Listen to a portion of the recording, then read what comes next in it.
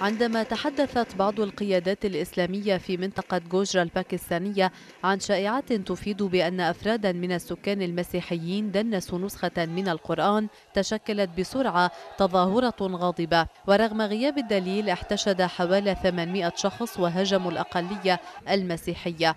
في باكستان عقوبة جرائم التشهير تصل إلى الموت ولكن لم تطبق حتى الآن وقامت الجماهير بتطبيقها بنفسها. في الأول من أب أغسطس يوم الهجمات خسر هذا الرجل سبعة من أفراد عائلته والسكان يقولون إن ثمانية مسيحيين قتلوا. المتطرفون يستمرون بالإتصال بنا. هم يهددوننا بالموت.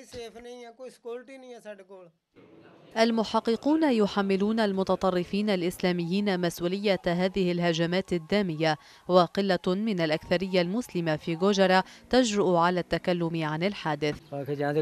لا أعلم من يقف خلف هذا ولم أشهد شيئا مماثلا له في حياتي.